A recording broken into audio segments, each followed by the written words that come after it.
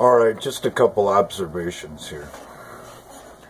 Can you scroll to the bottom of your video log? I can't. Can you change your icon and your background for the main part of your channel? I can't. Do you get notifications when you leave a comment on somebody else's channel? I don't.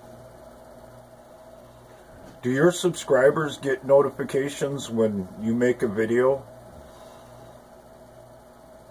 Mine don't, or a lot of them don't.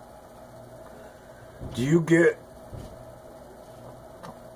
your volume cut in half when you make a live stream? I do.